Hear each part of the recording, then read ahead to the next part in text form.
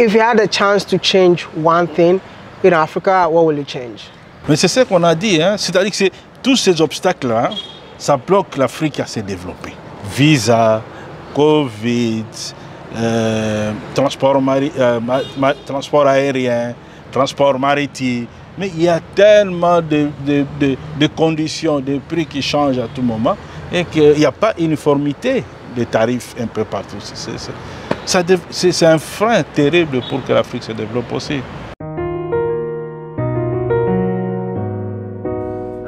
Hello, good morning. Good Morning, sir.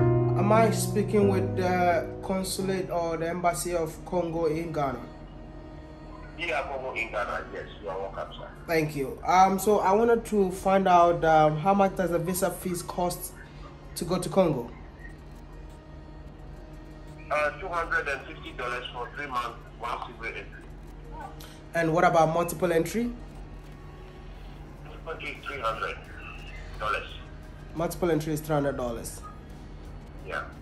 Okay. Which one is the four hundred dollars? Because I'm seeing four hundred dollars on the internet. The four hundred dollars for six months. That one goes with the multiple entries. Oh, okay.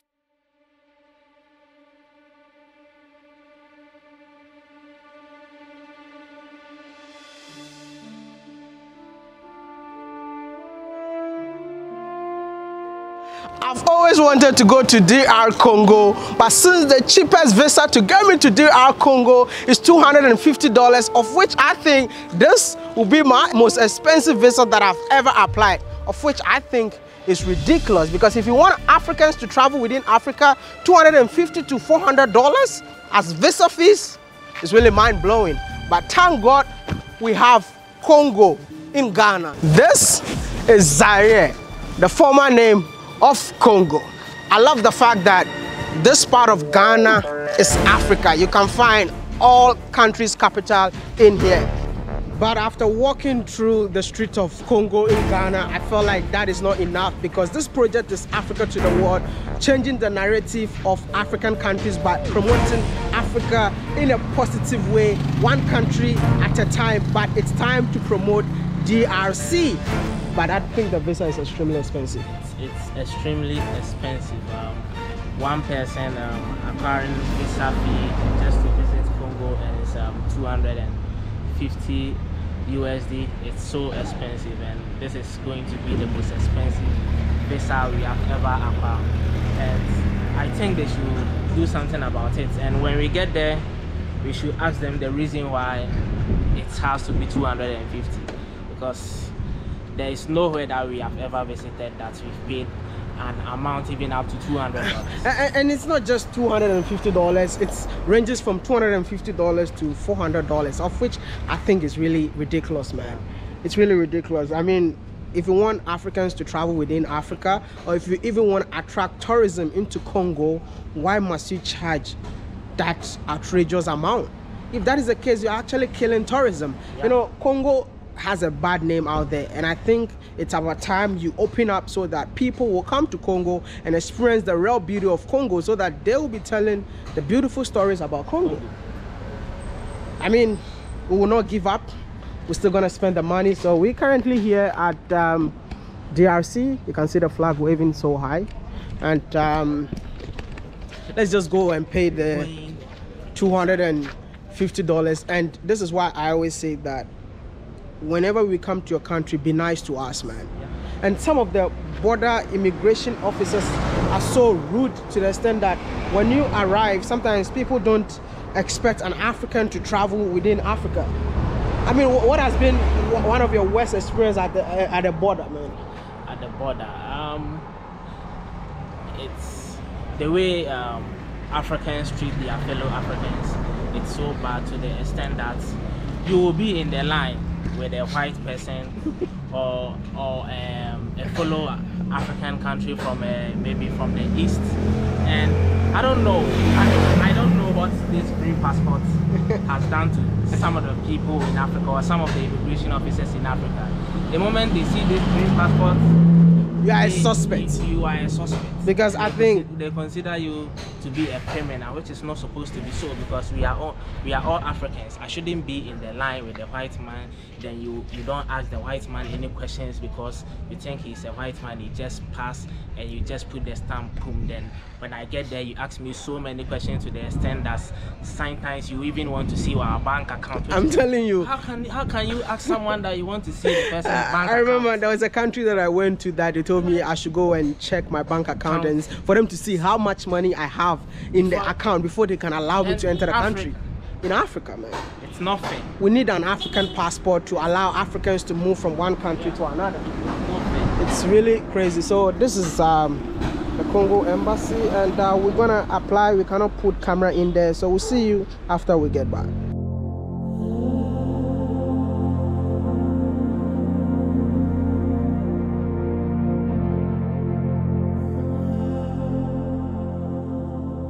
Some of you might be saying that $250 is cheap or the money I pay for it. I'm gonna pay, but I just want to let you know that I'm not doing this video for myself. Even as a Congolese, you might be mad because I'm saying that visa fees in Congo is extremely expensive. You might think that I want to make your country look bad. See, I'll be the last person to make an African country look bad, but I think it's time for a change. That's why I'm doing this video. I will pay the $250, but I think after this video, something must be done. That's why I hope each and every one of you watching this video would definitely share this video because we definitely need Tribeless Africa. Shout out to African Traveler for gifting me this um, t-shirt. But you can see like the message tells It's it clear. all. Tribeless Africa. That's what we need. And borderless Africa. He, he also has the borderless Africa. I use the borderless Africa because I wish we can remove borders so that it can allow Africans to move within Africa. See, I'm not saying remove the borders. The borders can be there, but make it so easy for Africans to move within their own continent. If you are from Europe with an European passport, you can go everywhere. But if you're from Africa with an with, with a Ghanaian passport, how many countries can I go with a Ghanaian passport? This is why I'm saying that we need a borderless Africa. The big mistake we have made is by making each other competitors. We are not competing. Our problem is that we are not working closer together to meet the demands that our people have. And as I was telling another gathering, you know, these borders, and I also mentioned to my brother, these borders that you create silos for yourselves amongst, you must always remember uh, are not your creation. These were creations of people outside of this continent who made these borders not to develop you, but to extract from you.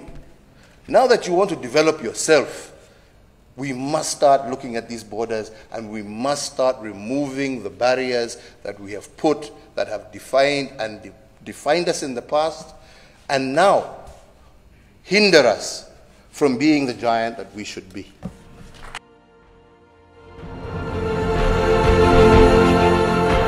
Finally got hold of my passport in less than 24 hours. So I would say that a big shout out to the Congo Embassy in Ghana for this has been one of the fastest visa I've ever applied in all my trips in Africa. I guess the more money you pay, the faster your visa but hey i just want to say this man. I'm not here to make congo look bad but i feel like i have a platform that we can use this platform to change something. So if you're watching this video as a congolese yourself please don't be mad at me because i know that you have friends abroad who would love to visit your country. But knowing that visiting your country you have to pay this amount of money to enter your country is actually ridiculous. And i believe that it's going to be embarrassing telling your friends to come with you and at the end of the day knowing that you're paying $250 to $400 as what uh, visa fees. So i asked the ambassador why is it so expensive to apply for congolese visa? And he is saying that they did that just to reciprocate what ghana is doing in congo. So i decided to go to congo and find out for myself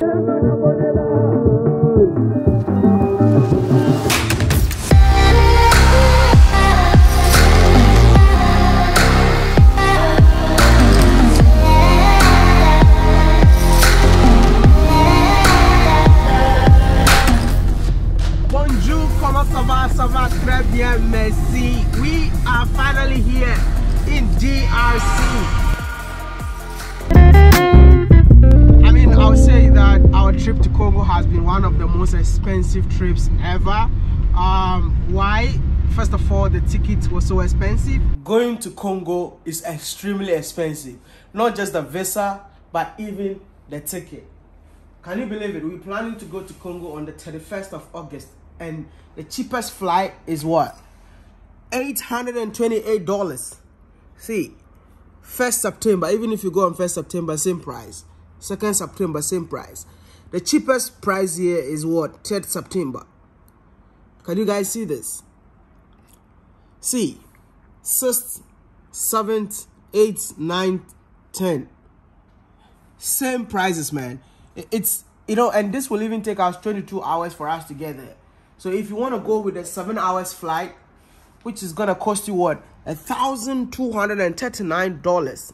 I don't know what are we going to do in Congo that we have to spend this amount of money, man. But uh, trust me, traveling in Africa is not really encouraging at all. It's not giving Africans the chance to explore their own continent because to me, it's I feel like it's so ridiculous traveling in Africa, man. Second, um, the visa fees was actually one of the most expensive visa I've ever applied.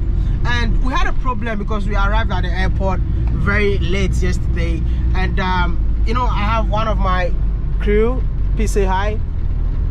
Hi.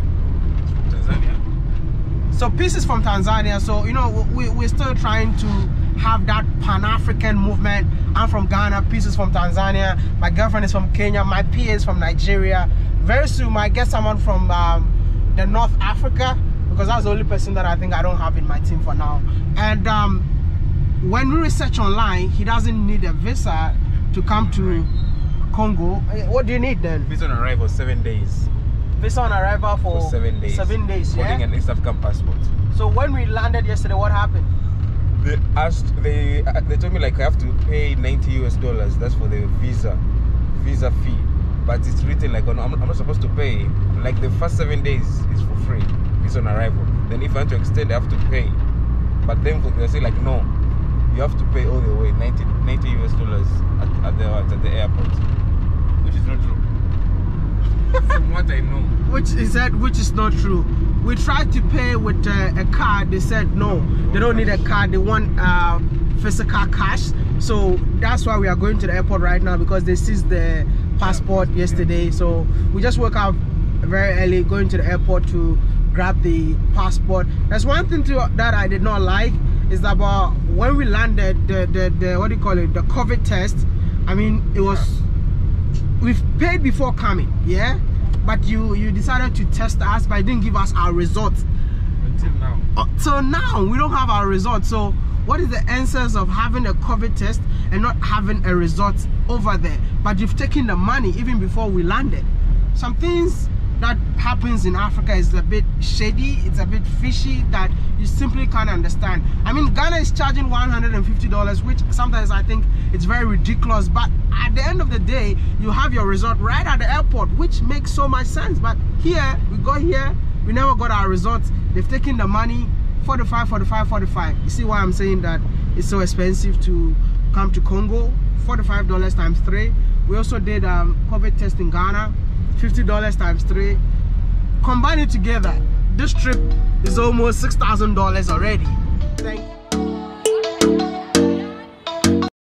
we just left the airport peace got his passport right now and also he got the visa but something that really shocked us yesterday they were telling us that you're gonna get you have to pay 30 what days. 90 US for 30 days. visa. 90 dollars for what 30 days visa. But apparently when we got there they decided to give him a week. Visa on arrival just for seven days is just US. 90 it's not just it's 90 us dollars. You know how much 90 us dollars is gonna do? And i don't even know what they are using the money for. Did you know that we actually spent $2,536 on visa only ridiculous and crazy, right? But I'm gonna break it down for you because I have the receipt right in front of me. I mean, the single entry to enter Congo, we were two, right? So me and Steven, we had to pay 250 times two, which makes it $500. When I was in Congo, I had a call from Ethiopian Airlines that I have to fly to Ethiopia. So because of that, I need to exit Congo and come back again. Exiting Congo, I really wanted to come back because I really want to put Congo on the map. Like I said, when I got to Congo, I really fell in love with Congo. That's why I even got my shirt Napenda Congo, which means that I really love Congo. So in order for us to get out of Congo, we had to apply for another visa, which is a multiple entry visa that will allow us to come back to Congo if we exit Congo. And that visa fee alone cost us $250 again as a multiple entry. So two of us, $500. Don't forget that Peace has already paid $390, which I explained in the previous videos. When you check online, Yeah. as a Tanzanian holding an East African passport, you only have like you get seven days on of, of, on arrival Arrival. to Congo, and when I arrived at the airport, these guys like they were asking me like, "Where's your visa?" I told them like, "Okay, it's here. Uh, like I get visa free, seven days." Yeah. But they're saying, "No, no, no, you have to pay for it." And then you say, "How much?" Ninety dollars, which is almost ridiculous, ridiculous, ridiculous, ridiculous, and which does not make sense. And after that, we pay the ninety dollars Yeah. then they gave me the seven days. Then applying for a visa for 30 days they told me uh, in the beginning they said like 180 us dollars. Then you have to buy a form. Imagine a visa form is 50 dollars. Visa form 180 dollars plus the 50 and also because it was around 230 then the guy said like there there's another charge visa charge which is almost 50 dollars again. so the total is almost 280 dollars plus the 90 dollars it came up to the uh, the total of 370 us dollars Which, is doesn't make crazy. any sense. that only means like uh, maybe like i think the problem is maybe in like um, in the government like maybe they expect investors to come to the country and not regular citizens and stuff like that So do the math and let's go.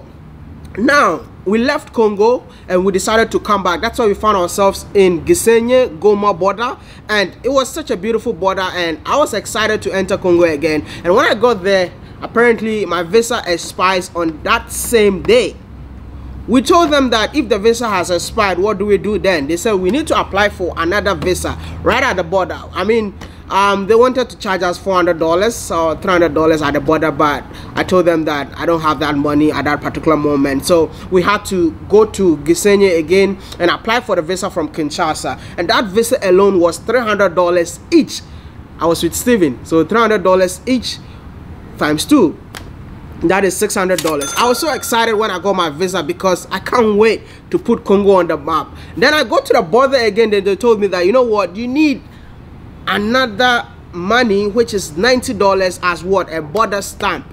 I've already paid $300 times two and they're telling me that i need to pay another $90 as a visa stamp and it was a border stamp or something. It was ridiculous which adds up to $390 times two again. I've never seen any country that you have to pay $390 for seven days visa.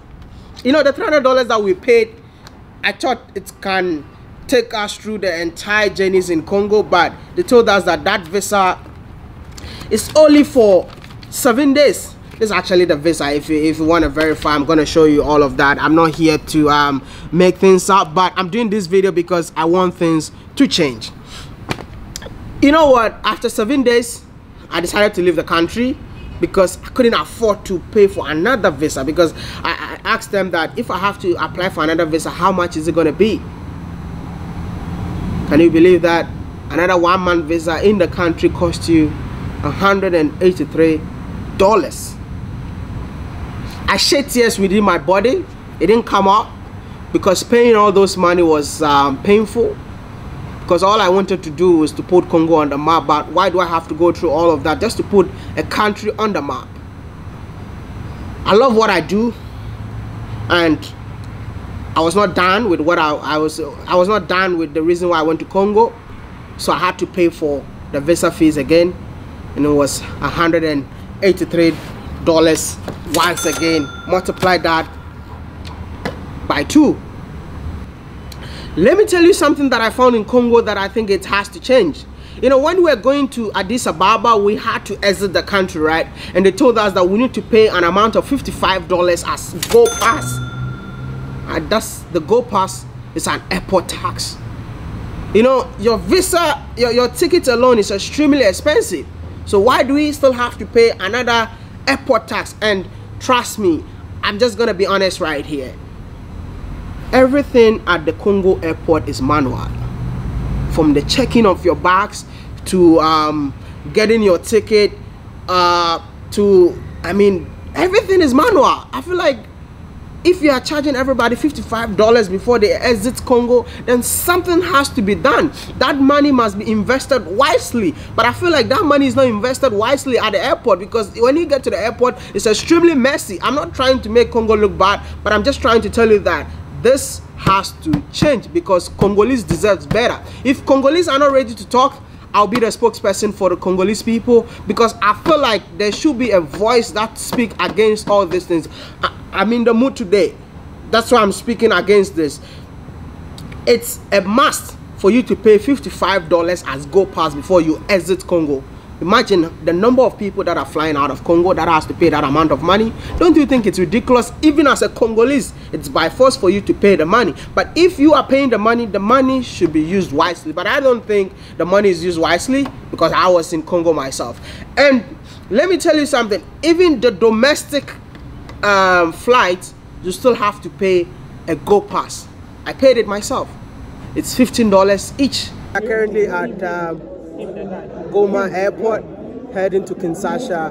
And like I told you earlier, um, in Kinshasa, getting out of the country, you have to pay a go pass of $55. But we are here going from Goma to Kinshasa and you still have to pay a go pass. And listen, it's not like I'm against this, but the airport doesn't fit this amount of money. Like the money that you guys are taking, you used to, to fix the airport. Look at me standing, like literally I'm standing waiting for the plane. It doesn't look attractive. Everything in here is like literally manual.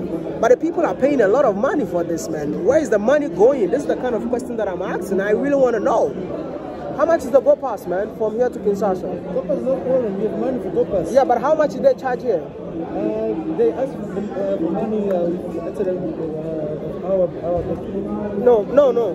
But go pass is, is, is, is, is just uh, fifteen. Fifteen dollars. So like the private is like fifteen dollars for Go Pass. International is fifty-five dollars. Wow. These are the things that um, I found in Congo that I think um, something can be done on it. And um, apart from all being said, why my trip in Congo became so expensive is that Steven right here, the one holding the camera, crashed the drone and it was so ridiculous going through shops by shops in Congo just to find a drone that a drone that cost $400, $500 was sold $2,000 in Congo. Please, I'm not here to blame the government, but I'm also here to blame the people for taking advantage of your own people. We can do better. Dishonesty in Africa is getting way out of hand. How do you expect a society to move forward if we, all of us, are dishonest? Africans deserve better. Africa deserves better. The first day we got here, we um, went to the Ghana embassy in Congo. But first, we went to the Congo embassy in Ghana Yeah. to ask them the reason why the visa fee has to be so expensive for them, for Ghanaians to travel to Congo. But they told us Ghanaians in Congo are charging 250, so they did that to reciprocate what Ghanaians are doing in Congo. So when we got here, we also went to the Ghana embassy, Embassy. in Congo to ask them the same question. Exactly, And- and this is what they told us. They told us that 20 years ago, the visa fee for Congolese going to Ghana was just less than $50. yeah. And then some time crossed and then they changed it to $50. And then later on, they changed it to $150. If you check the visa fee across the entire world for anyone going to Ghana, the maximum is $150, right? True. And now they are charging $250 and um, also $450. You know why? They told us that it's because of what Congo is charging in Ghana after they did their research.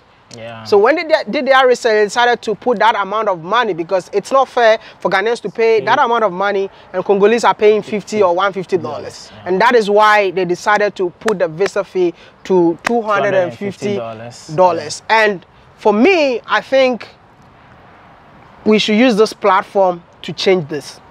I don't want you to watch this video and watch it alone. I want you to watch this and share, this video yeah. because we need to create awareness. You know, Congo is beautiful. Imagine how many people can afford $250 just to go to another African country, Country, yeah. to experience it. You just came back from Ghana. Mm-hmm. You applied for visa in Kinshasa. Mm. How much did you pay to get to Ghana? Dans le 450 dollars hein, qu'on appelle. Et le Covid au Ghana, 150 dollars. Plus COVID, which is 150. So which means that eh, you, you spent over almost $700, Oui. $600. Ça, on n'est pas les billets et And- tout and- ça. no, I want to know your flight ticket. Bon, euh, là, j'aurais du mal à expliquer parce que moi, j'ai acheté un billet euh, Kinshasa, Côte d'Ivoire. Okay. Air, Air d'Ivoire. Côte d'Ivoire, Accra. The message is very simple. simple. This must change now. Allow Africans to travel within Africa. Simple. Allow Africans to experience Africa because Africa belongs to Africans. Africans. Thank you. Um, once again, I think that's all that happened, and um, I hope you all can help me tag um, officials that needs to um, see this video. Um, then I hope that this video can cause a change. So please do me a favor, like the video. It's very important. If you are watching this video, kindly like it. And if it, today is your first time seeing this annoying face on your screen, some of you are saying I shouldn't call myself annoying, but I know it. I'm annoying. So subscribe and be part of this awesome family. And uh, I'll see you in the next one. My name is still Mr. Ghana, baby, and uh, I love you all. Congo to the world. Congo is a beautiful place. I love the Congolese people, and I just want to see Congo deserve the glory that it deserves. Thank you.